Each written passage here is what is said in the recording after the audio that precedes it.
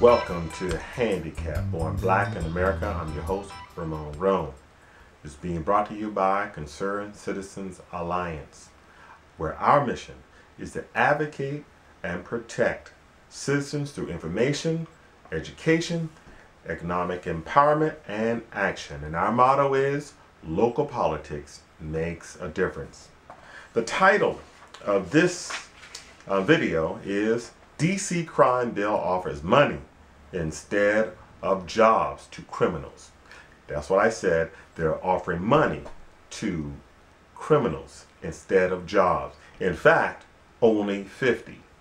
As if Washington D.C. only have 50 criminals. They forgot about all those the, all those crooks that are in um, the White House as well as the, the state of representatives as well as the Senate.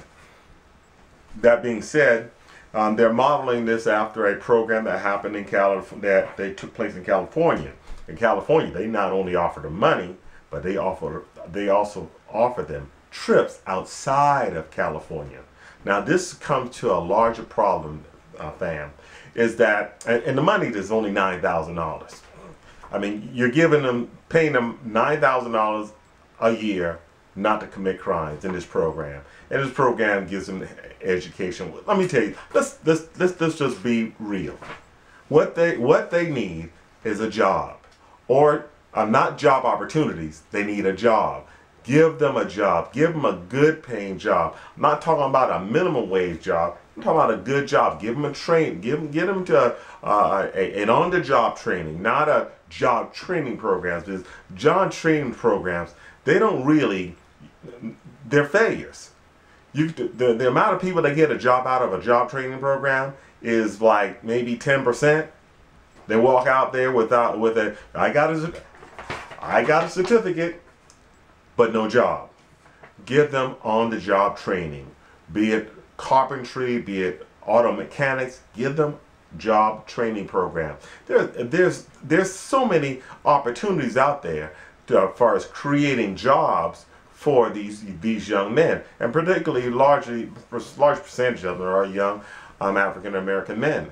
But to give them money not to commit crime, and then on top of that, they're only offering. But it says the article says 50 individuals a year. What's that? I mean, people like DC is one of the major cities. As a matter of fact, one of the crime-riddled cities, and you're only going to offer 50 of them. What is it going to be a lottery pick? you know, I mean, is it going to be a lottery saying that who's going to get $9,000 a year? Let me tell you something. They can make $9,000 in a few days on selling drugs. Now, I'm not, I am not advocating somebody selling drugs, but you got, you give them a choice between $9,000 and not committing a crime or I'm going to keep doing what I'm doing to hustle to get more than $9,000. $9,000 is not, is not, not much money at all. And these programs are not giving those guys a job. That's what we need. Now we have a problem here in South Carolina, in, in North Charleston, where our violent crime is going is going up, and there's an issue there's an issue about the violence going on in North Charleston. Of course, we just reelected the racist mayor Keith Summey to another four years. Matter of fact, 1,400 blacks voted for him. That's another video.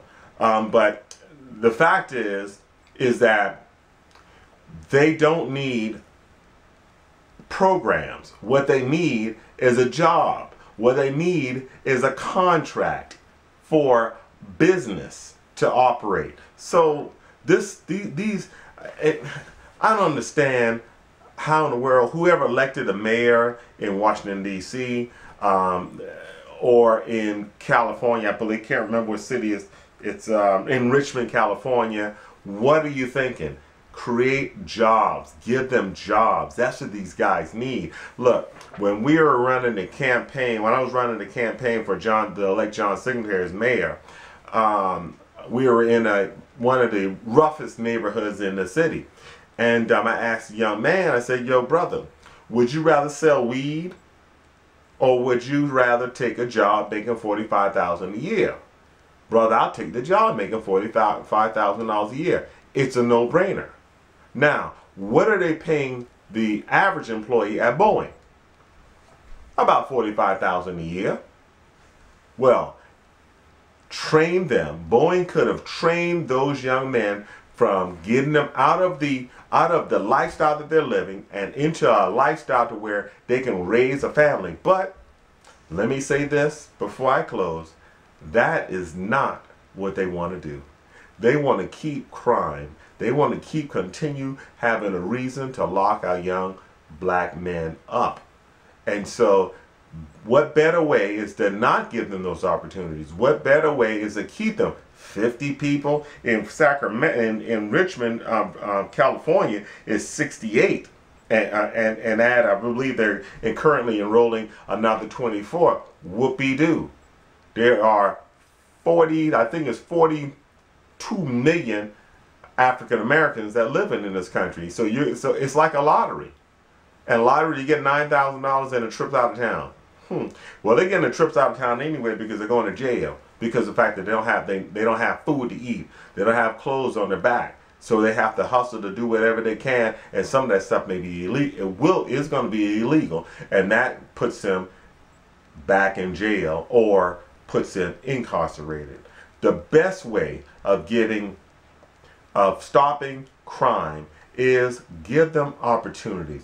Most of the 90%, I may be wrong on the percentage, 90% of these violent crimes have to do with money or property. Same thing, money or property. Either somebody's property because he don't have enough money, so he wants to take your property.